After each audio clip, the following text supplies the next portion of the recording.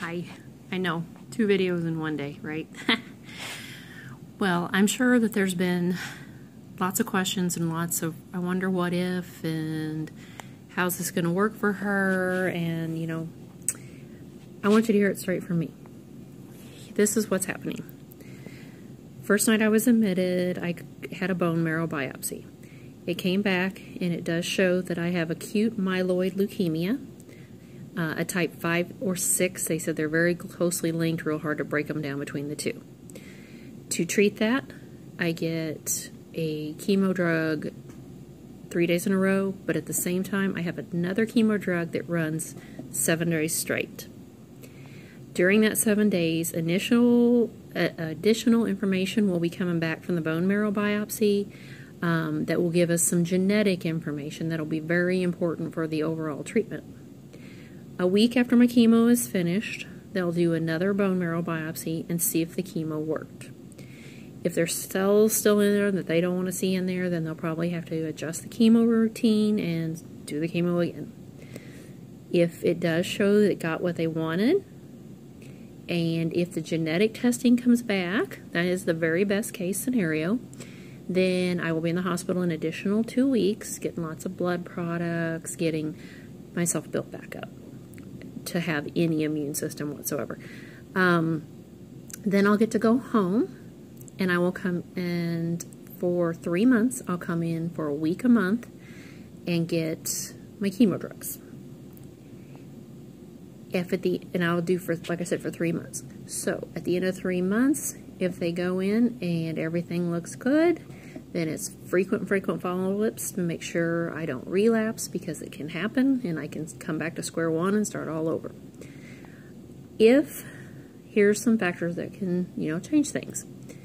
Leukemia that I have has about a 60% remission rate. Some people say 70%, some people say 60%. I'd love to hear 90%, but it's not there, so I'll be in the 60%. Um, sometimes the genetic portion that comes back shows that I'm very highly probably going to have it come back again. So what they do sometimes in that case is they do feel as though it's good to build the bone marrow back up from a bone marrow donor.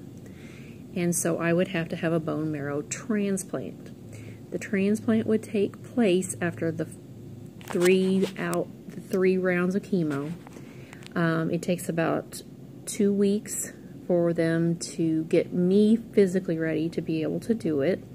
Um, they have to find a donor and get a match, and then the donor has things they have to do, you know. Then I would receive the bone marrow transplant.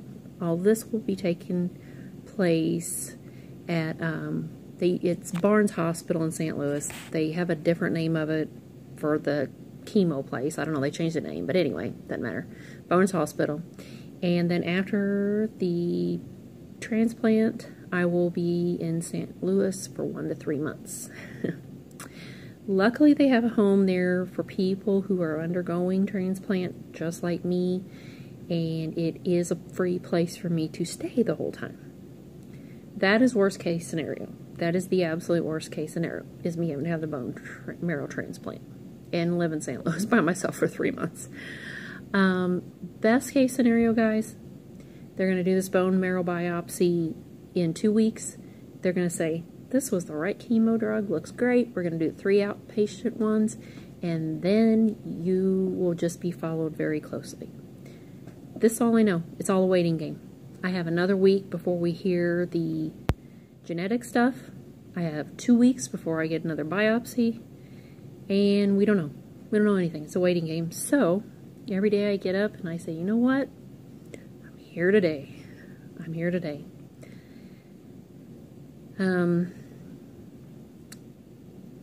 I know it doesn't sound the best, but it doesn't sound like the worst either, guys. So keep the prayers coming. All we can hope is all these things that they're going to be doing to me in the next few weeks work.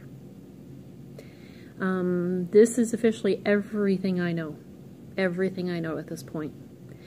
So if you have people that that are saying they heard this or they heard that or you know oh my gosh he has two weeks to live or whatever, feel free to say, hey, I heard it right from her. This is what's happening. So, you know the rumors are. But anyway, I'm doing okay. I'm trying to keep my spirits up. I'm very, very tired today. Um, but today's been a much better day than yesterday. So, I love each and every one of you, and I just wanted to add on a little bit of information. Y'all take care.